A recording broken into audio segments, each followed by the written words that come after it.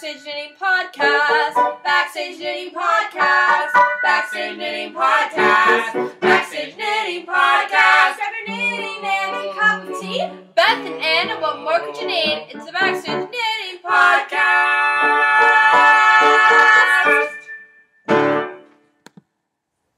Hello, and welcome to the Backstage Knitting Podcast. I'm Bethany, and I'm your host today. This is episode uh, 43. I'm recording it on Thursday, August 2nd, 2018. And I just wanted to thank all of our new listeners and viewers and all of our returning listeners and viewers for, for giving me a chance and checking this show out. I really appreciate it. So I wanted to start out this week with a shout out. Meepers uh, on Ravelry, that's her Ravelry name, introduced herself this week. And she also happens to be Melanie, who owns Black Trillium Fibers. And if you have not checked out their yarn, you should absolutely do so because it's fabulous and I want all of it. So go ahead and give her uh, some of your business if you are so inclined. And thank you so much, Melanie, for introducing yourself in the Ravelry group this week. If you want a shout out, all you have to do is go on to Ravelry, join the Backstage Knitting group, and there is a getting to know you thread where you can introduce yourself and tell me what you knit or crochet or spin or if you do theater or if you go spelunking, do you, I don't know. Whatever you want to share with me, I like to know where people live. It's so cool that, you know, you can reach people in all different countries and parts of your own country and it just it really I enjoy it and I like I like having those conversations with you. So if you are so inclined to do so, you'll get a shout out and that's always awesome too. If you are looking to find Backstage Knitting Podcast anywhere else in the social media internet universe place, you can do so by finding us, friending us, following us, whatever on Facebook, Twitter, Instagram, and Periscope. You can find the show notes. Well, I will link to all of the things I talk about today uh, at backstageknitting.com. Uh, if you want to email me with questions, comments, concerns, feedback, etc., you can do so at backstageknitting at gmail.com. And of course, the Ravelry group is a great way to get in touch with me. And you can also subscribe to the audio version of the show through Apple Podcasts and or other, you know, podcast subscriber aggregator thingies. And if you are on video, you can subscribe on YouTube, and I uh, strongly encourage you to do all of those things. Okay, well, let's jump into what I have been working on since we spoke last. So first, I'm still slowly but surely working on my Mama Vertebrae by Kelly Van Niekerk. And it's knitted in Knitted Wit in the Victory so in her Victory sock base in the Rainier colorway.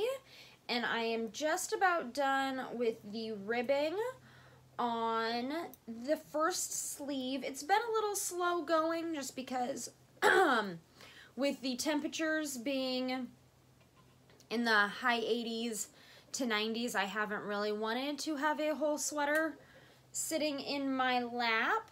But um, yeah, so I'm almost done. We went and saw a movie the other night and I made a good headway on this cuff. So I should be able to get the second sleeve started sooner rather than later. I'm really excited about it.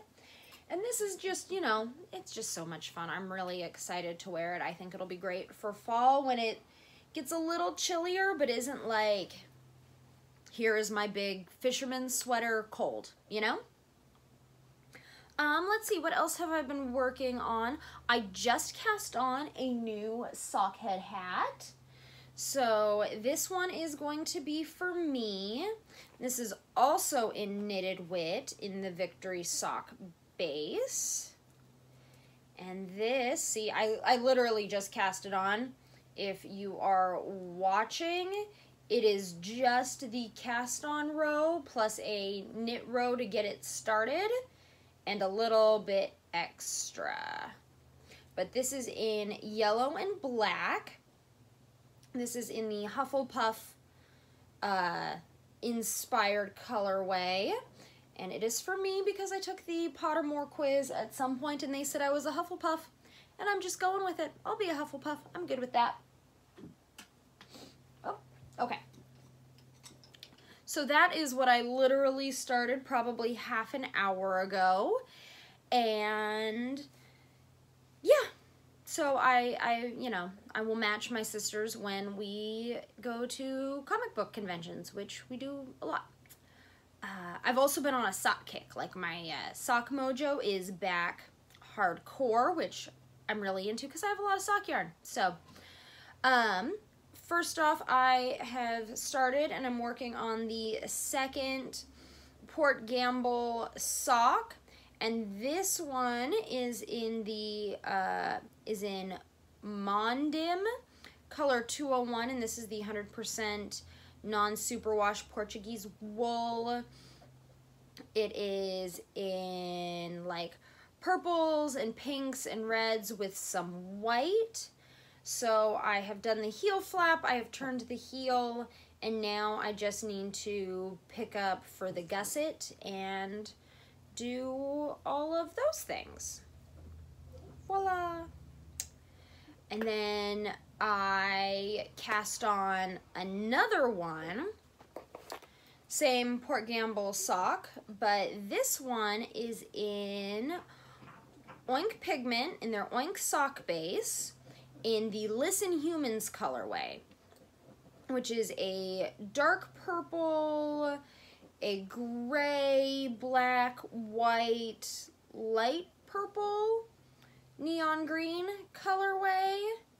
And it looks like Maleficent to me. And Maleficent is my all-time absolute favorite Disney villain. And I absolutely needed a pair of uh, Disney, or Maleficent socks. So I've done the cuff. Again, I'm making the Port Gamble socks out of this as well by Fairlight Fibers. I've done the cuff and I have about, let's see, where am I at? One, two, three, four. So I have about nine rows left of body or whatever before I start doing my heel flap. And I have been working on these ones on the Addi Flexi tip needles. So they're coming up pack of three and they're like double pointed needles, but they have a little bit of cord in between. They have about, I don't know, an inch and a half, two inch of flexi cable so it's like a really, really, really short circular needle or a really long bendy double point. I'm not sure how I feel about them. I got them to try them and I can see where they have both their benefits and their drawbacks compared to either regular straight double pointed needles, which I'm doing the other Port Gamble socks on, uh, magic loop, which I usually do my socks on, or two like 16 inch circulars, which is a method that Anna really likes, but I've never, it's never done a lot for me. I always found that I would um, end up knitting with the wrong needle. So what I found with the the flexi tips is that to hold them well, at least from, you know, I've done 14 rows on them, so I haven't put them through a rigorous, like, life test yet, but they are short enough so you're not going to accidentally knit with the wrong one. So there is the perk over doing two circular needles, but they're not long enough or have enough give to them that you sort of have this other needle flopping in the wind while you are using the other two because they're not quite yeah so that's where they their drawback over say magic loop but so i'll keep using them and i'll let you know. I'm not i'm not sold and for their price point i'm not convinced that they're a huge step up necessarily from either regular double points or one really long circular needle for magic loop yeah but those are those are the things I have been working on and have been on my needles for the last two weeks. Uh, I'm hoping to have a couple more projects going soon. So let's see, what do I have off the needles? Because I finished things this week. Yay! I love it when I actually finish things. So first off, I finished the first sock. And this is also the Port Gamble sock in the, uh, which is by Fairlight Fibers and it's just a, it's a nice simple shorty sock with a heel flap and gusset but it has this squishy garter stitch garter um, heel flap which is nice and cushy and I'm super obsessed with and want to wear it with all of my open heeled things. So I finished those during a car ride the other day with a really it has not good Kitchener toe Kitchener's not my strong suit. I don't know what I did. I've done it better in the past. This time I did not do it so well, but it's not enough to bother me. So I'm keeping it as it is. Um, let's see. I also finished, what else did I finish? I finished this sockhead hat by Kelly McClure. And this is in the Sneaky Snake colorway, also by Knitted Wit in their Victory sock and this is green and gray or silver stripes, if you will, to represent the Slytherin house. This is a birthday gift for one of my sisters. Again, we will be wearing that when we are uh, nerding it up at Comic-Con in September. yeah, so those are the things I have finished this week. And yeah nothing too too exciting there, but it's always it always makes me feel good when I actually get to finish things because lately I felt like I haven't had a whole lot of time to really just sit down and knit stuff. So that has been awesome. Um, in timeout. So I have been working on the Comfort Fade Cardi by Andrea Mowry, and I've been using the Sublime DK in a bunch of colors from uh, Black Trillium Fibers for this cardigan. And I bound it off sometime in May when I was in Colorado for my brother's law school graduation. And it was puckering at the bottom. Like the collar part was pulling up the edge of the sweater so in talking with a friend about what to do, whatever, we decided that I would um, rip the collar out and then block the sweater and then try to pick up those stitches again because I'd been coming out short on my stitches. So uh, I went to a knit night at a Starbucks the other day, which was great because then I could frog the sweater, which I did, or frog the collar. The rest of the sweater is intact. Uh, but it was nice because the Starbucks had cold air, so I could sit with the sweater in my lap to frog it. Unfortunately, I haven't been home long enough to really block it, so that still, we're working our way out of timeout slowly but surely. But here is the sweater without the collar. It's beautiful, but um, yeah. So I'm still working on that. I've done part of it. And hopefully by the time we talk next, it will be out of timeout and back on the needles and behaving the way a good sweater is supposed to. Uh, let's see, moving on. Spinning and weaving. I've done no weaving. Nope, not at all. But I have done so much spinning because of Tour de Fleece.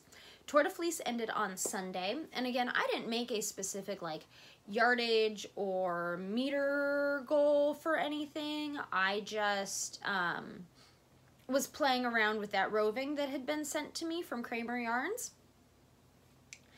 And I just I had so much fun with the colors and then so I did two bobbins like spinning wheel Ashford traditional bobbins worth uh, this I'm holding up one that has a lot of like dark black on it but underneath is some lighter pink colors uh, there's another one still on my spinning wheel that I didn't bother to pull off but that has a whole bunch of different colors on it also I'm hoping I can start getting stuff plied soon.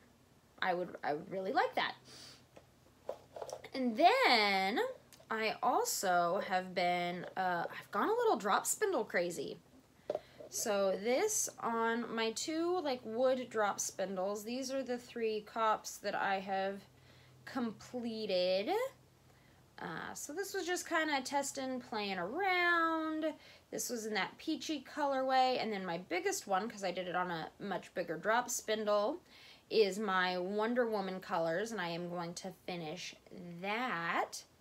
And then I, uh, because of somebody I follow on Instagram, she is a, she's a fair, she like spins.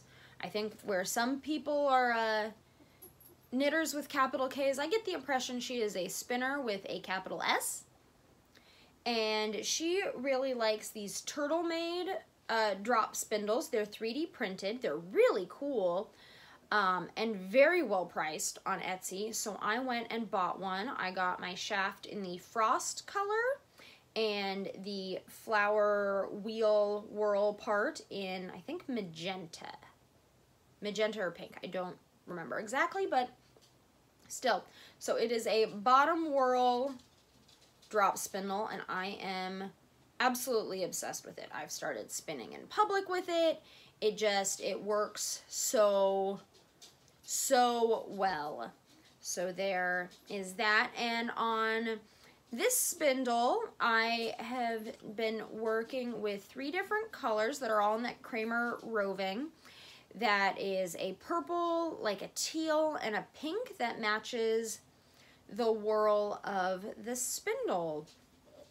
And it has just been so much fun.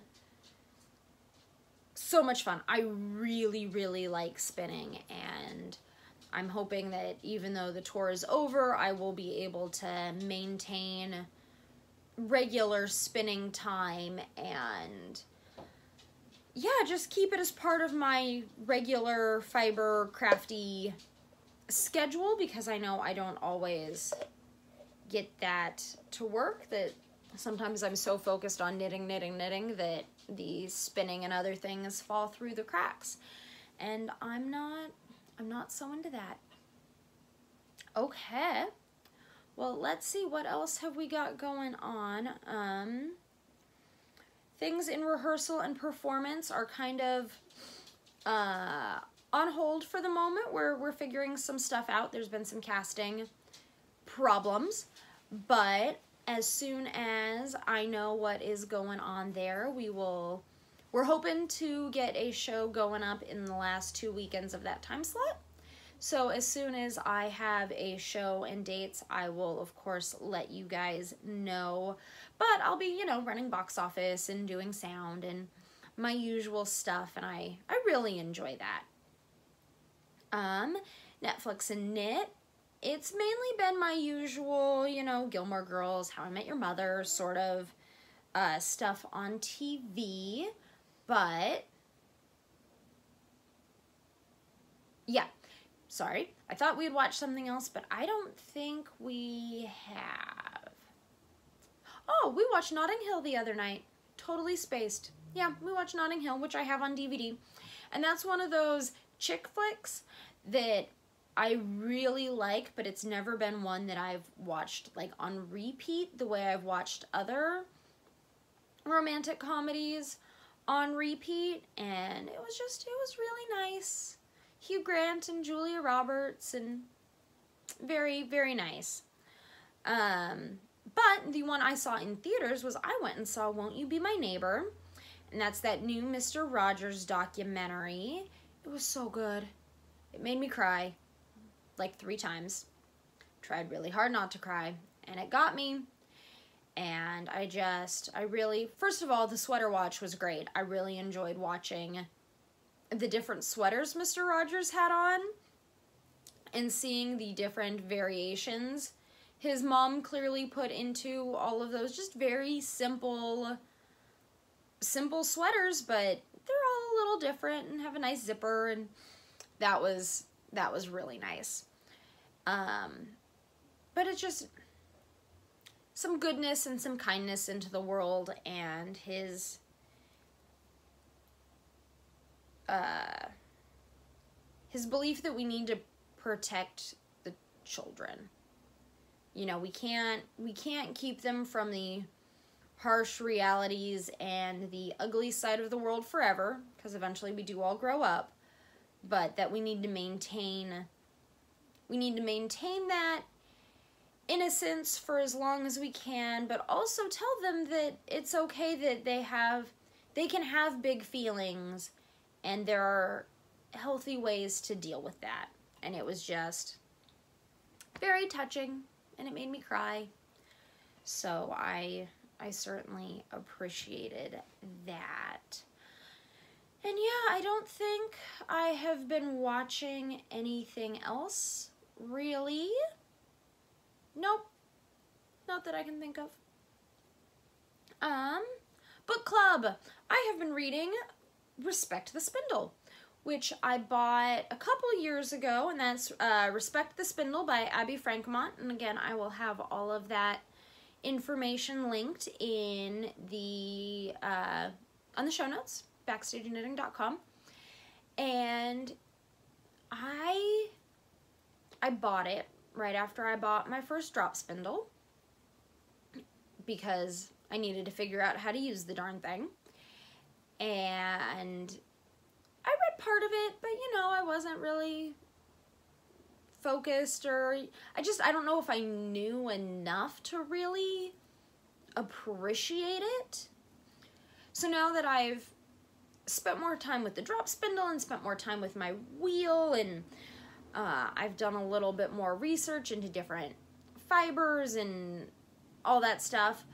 I really I'm I'm just learning so much from respect to the spindle and like the physics behind it and the history behind it and how spinning it just it's such a huge part historically of our global economy and that is so interesting to me you know. I watch i watch snow or not snow white but sleeping beauty and they destroy all the spinning wheels and then i am very very concerned about how um, how the, the economy maintained for the next 15 years while aurora was in hiding because textiles and weaving and spinning it was such a huge part of the economy that it's it's something I worry about a lot.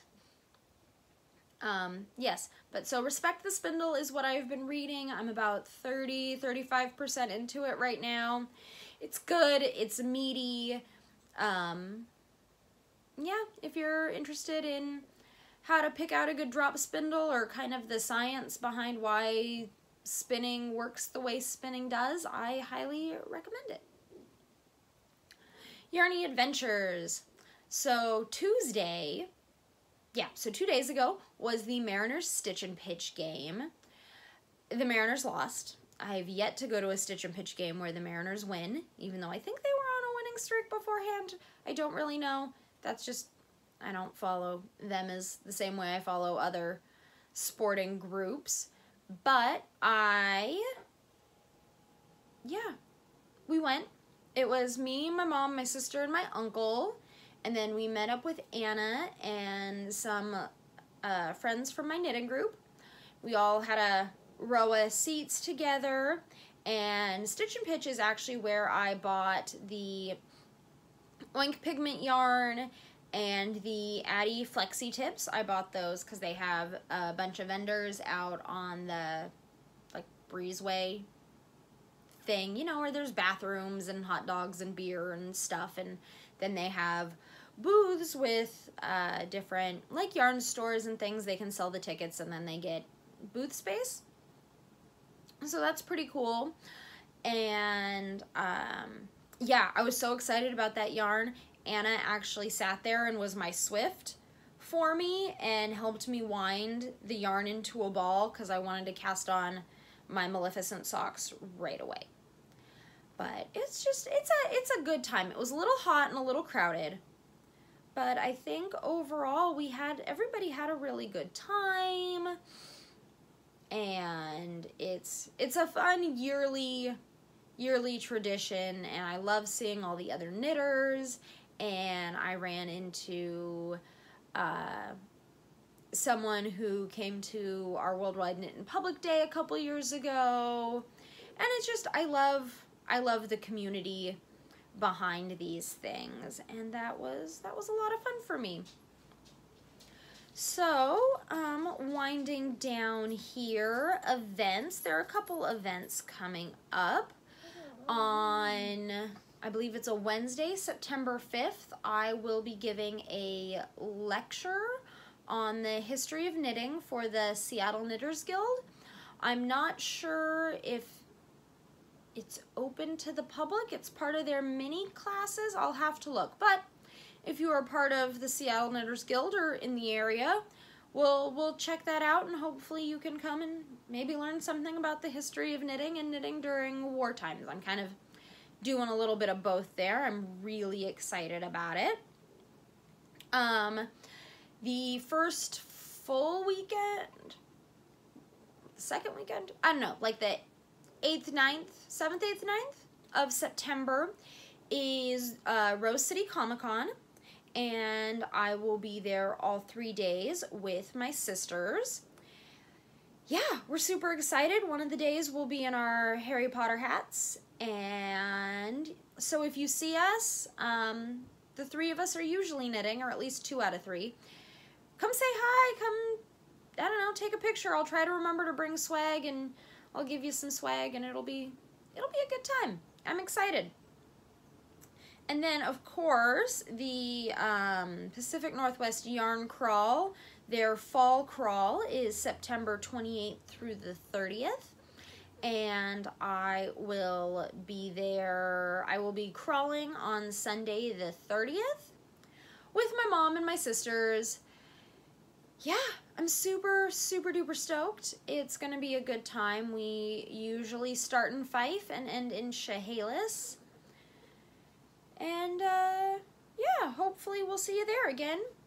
Do not be afraid to come say hi or ask if I'm actually me because you know what? I am. And yeah, all of that good stuff.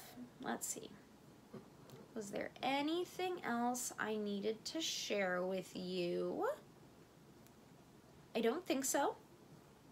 Well, I hope you all are having a lovely week and enjoying the last couple uh, couple weeks of summer before the school year starts for many of you and your children.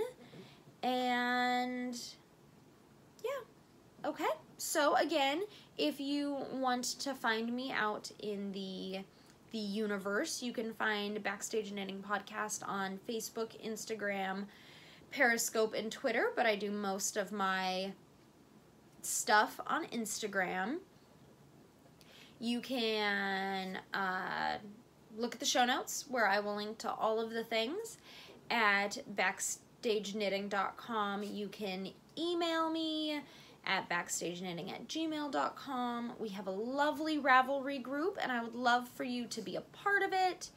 If you like what you hear or see, please leave a review in Apple Podcasts or uh, a nice comment on YouTube. Share it with your friends. Subscribe. Um, that's how people find out about the show. Okay, well, I think that is it. Thank you so much for spending some of your time with me today, and I will talk to you next time. Bye bye.